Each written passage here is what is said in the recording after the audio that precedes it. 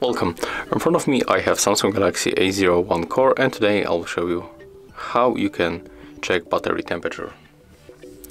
So at the first you have to go for the Play Store and you have to download application Ampere.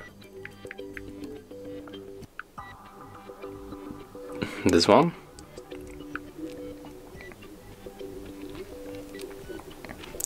When you download this application you have to accept all permission that pops on the screen. Click on the OK in the left bottom corner and then when you swipe on the right you will get other theme of the same data and temperature of your battery you can find in this place.